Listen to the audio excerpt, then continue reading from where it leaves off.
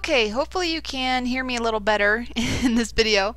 Um, like I've said before, I've, I have this program on my old computer right now, and so I've had some issues getting a microphone to work, but I think I've got it set up correctly now.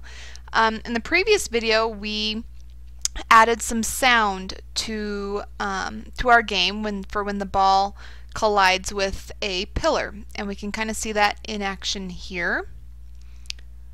Um, the sound might not carry through on my recording, but by clicking the play button you should be able to hear sound um, as the ball bounces off the pillars and the player. So now we're going to be moving into step 9 and in step 9 we're going to add these chocolate bricks to our game and which is pretty easy to do. So moving into step 9 so for step 9 we're going to want to go back to the frame editor view. So click on your button to get you back to the frame editor view and in your library window locate the object named milk. This is our chocolate bar. Um, I wonder if they named it milk for like milk chocolate? Not really sure. But we want to locate the object named milk. This is a chocolate brick for our Choco Break game. Drag it with the mouse onto the play field um, and drop it somewhere in the top of the area of the frame. Drag and drop another milk object from the library and place it just under the one you have dropped. So drag and drop that first one out and then drag a second brick and place it just under the first brick. And we're going to repeat the same procedure until you have created a column of seven objects. So complete this procedure until you have seven bricks lined up. Okay, so I have my seven bricks stacked up on top of each other. Um, keep in mind, once you have a brick selected, you can use your arrow keys to kind of nudge the bricks um, so you get them in a perfect line there. So now we want to duplicate the column uh, to the right in order to create a realistic looking chocolate bar. So click on the top left of the bricks, click and drag a selection frame around the bricks. So that should select all the bricks for you. Now open the Edit menu in the main menu bar and select the option Copy. And all the bricks are now copied to the clipboard. Open the Edit menu again and choose the option Paste. And you'll know that your mouse cursor turned into kind of like a crosshairs. That means the object has been loaded into your mouse and you are carrying um, the next stack of bricks. So click in the play field beside the selected bricks and you'll see a new set of um, a new set of bricks then appears already selected. Now grab the selected bricks with your mouse by clicking and holding, position them at the correct position so that the new set is nicely lined up with the previous ones. So we're going to click and drag the second set of bricks and drag them over right next to our first set of bricks.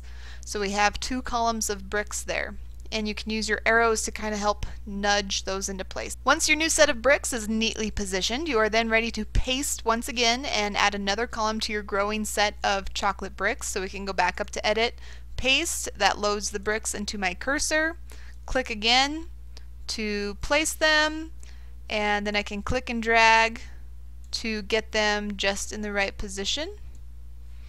Again, you can use your arrow keys to line them up as well.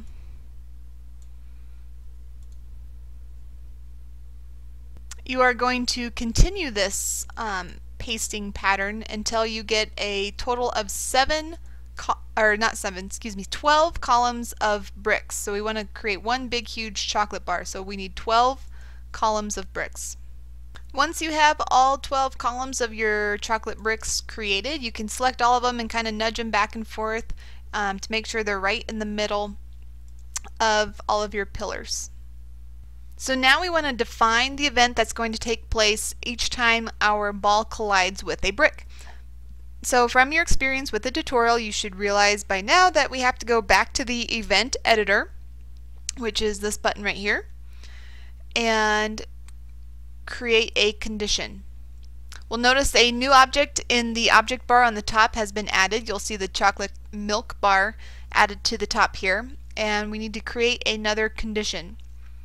So let's create a new condition and this is going to be a condition that includes our ball and the chocolate brick. So we want to right click on our ball, collision with another object, and we want to choose double click on the chocolate brick, and that creates our condition. So on the instance when the there's a collision between the ball and the brick, that's our condition. Now we need to define the action. So the first thing we want to do is we want the ball to bounce when it hits a brick. So you should already know how to accomplish this by finding our ball object here, going to the open space, right clicking, going to movement and bounce. That tells our ball to bounce when it collides with a brick. So now what should happen when the when the bricks, uh, what should happen to the bricks when the ball hits them. When you create your own games, the entire process will often be about asking questions like that and finding the best solution. MMF2 Developer is full of perfect solutions for your games. As you learn more about MMF2, um, works with you and for you, you will quickly become more professional when it comes to solving every game's unique problems. MMF2 is designed to help you in every way as you develop your game. So what we want to do next is destroy the milk object when the ball collides with it. When we destroy an object, it's gone for good um, for that part of the game, or at least until the game starts again. Or we create a new instance of that object. Locate the empty square on the same line of the condition that we just created, and under the milk bar, um, we're going to right click on that open space, and which opens our actions menu. Then we're going to select destroy. So go down to the bottom and select destroy. And as with the rest of our game, we'll want to make a sound when the milk object is destroyed. So sound can be just as important as the visual aspects that the player sees. MMF2 is a multimedia tool, so we can use sound to reinforce the excitement of the game and add more realism and emotion. Hold your mouse under the sound object and click with the right mouse button, choose samples, play samples, and locate the sound directory as before. So file, browse, and now we're going to choose the impact 02 file and say open. And so now we see that we've added another action. So we have this condition when the ball collides with the brick, we have a sound play, we have the ball bounce, and we have the milk bar destroyed. Okay, moving on to step 10. Step 10 talks about score, lives, and other objects. The score is an important part of any game. It tells how good a player is. It is a reward and a sign of accomplishment. Our breakout style game should have a score so that the player can earn points for destroying the bricks. This is part of making a game fun and challenging. So let's skip over that and go back to the frame editor. So click on the appropriate icon to get us back to the frame editor here. Okay, now we're going to discover some new objects. The objects we've been using so far, the ball, the bricks, the sugar bars, are called active objects. Active objects are the most used objects in a game. They can move, collide, and they can be animated. So all of these objects that we have out here are active objects. There are many more objects available in MMF2 and they have different properties. Multi MMF2 is easy, but that does not mean it's not flexible and powerful. So let's discover a few new objects and see what they can help us accomplish.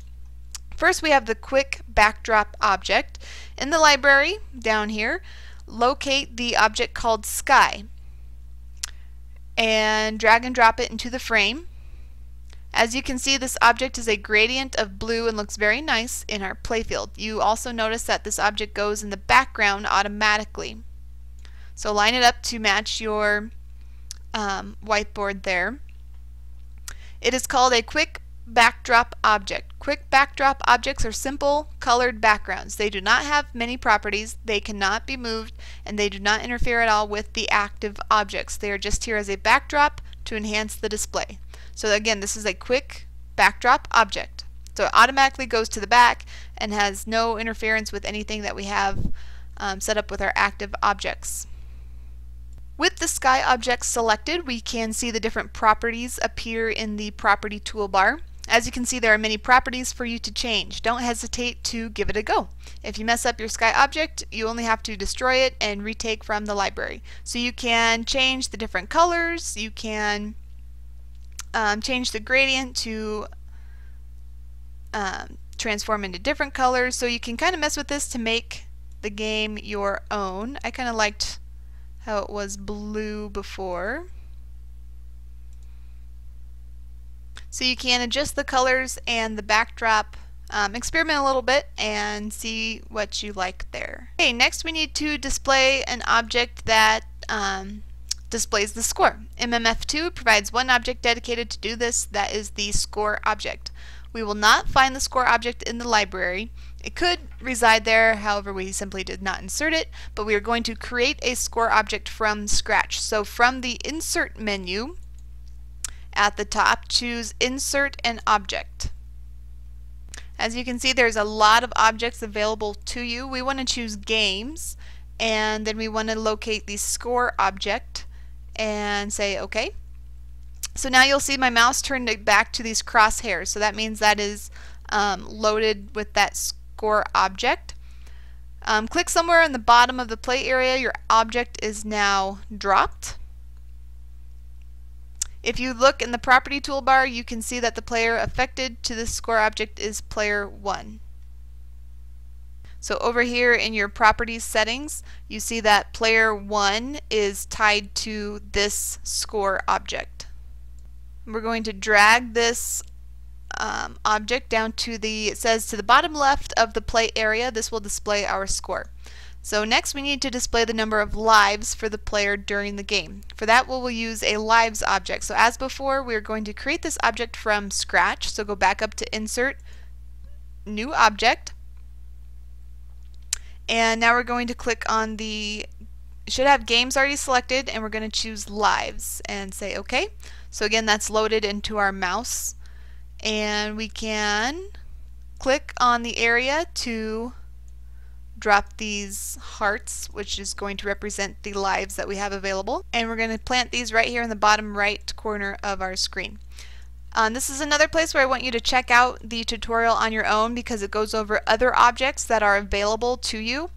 Uh, the quick backdrop, the backdrop object, active objects, counter objects. So you have all these objects available to you um, in MMF2. So remember, uh, make sure that you read up on those objects um, so you can use them for your own games. That's going to conclude this next video, so we'll move on to step 11 in the um, video coming up.